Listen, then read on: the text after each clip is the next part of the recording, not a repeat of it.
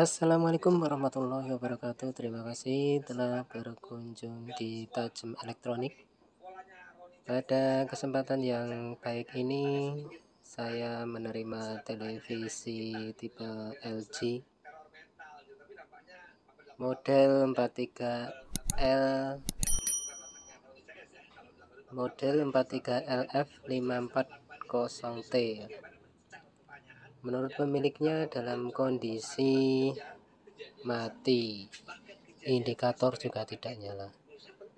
Baiklah langsung saja kita buka boxnya.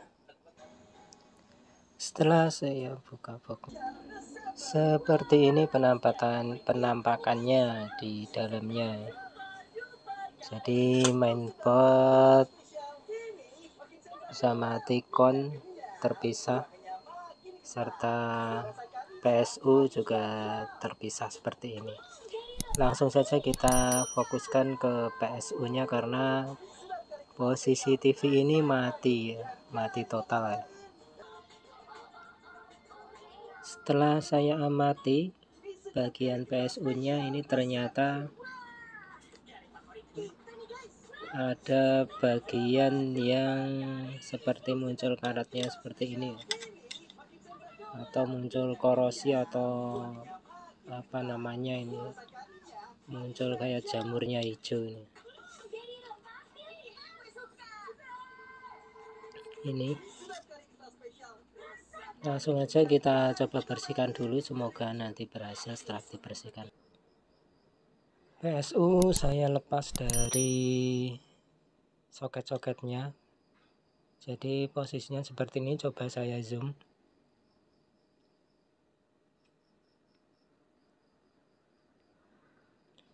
Nah, ini ya. Jadi terlihat seperti ada jamurnya ini. Jamur atau korosi atau karat istilahnya ini. Ada beberapa tempat itu yang muncul jamurnya. Baiklah kita bersihkan dulu menggunakan tinder dan memakai kuas.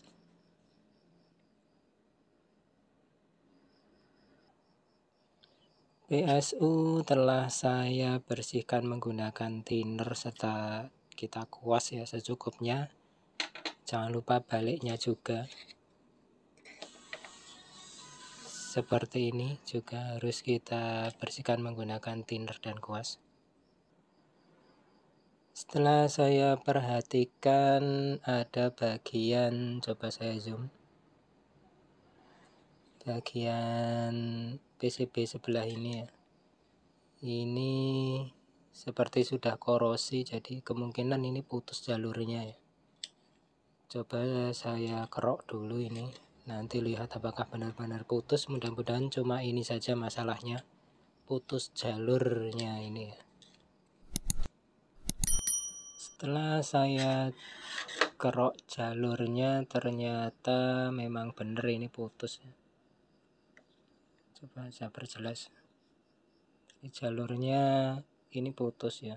Ini jalur voltase untuk supply IC ini ya. Dari tegangan 300 volt. Jadi ternyata memang putus. Coba saya sambung menggunakan jumper dulu ke sini. Setelah itu kita coba. Mudah-mudahan berhasil. Setelah jalur saya sambung menggunakan kabel ini ya langsung aja coba kita coba ke sini. Ke soketnya kita pasang ke soketnya.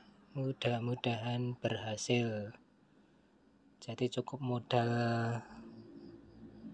kabel sekitar 3 cm aja. Mudah-mudahan TV ini normal kembali. Saya coba pasang ke soketnya dulu setelah PSU saya pasang soketnya. Coba kita nyalakan. Kita pasang listriknya. Mudah-mudahan berhasil. Coba lihat indikatornya. Sudah berkedip-kedip. Ya Alhamdulillah ya. terdengar suaranya TV normal kembali seperti ini. Saat aktivitas siang hari menjadi yang utama, Kebutuhan informasi Anda Mana akan ya? kami sampaikan dengan singkat Ya. dan padat. Hampir sepekan banjir di Aceh Tamiang Gitu ya. Coba saya tutup dulu boxnya. Setelah saya tutup boxnya, coba kita nyalakan televisinya. Saya pasang dulu. Kita tunggu sebentar. Kita lihat penampakannya di layar. Uh, Alhamdulillah TV normal kembali ya. TV tipe LG normal kembali.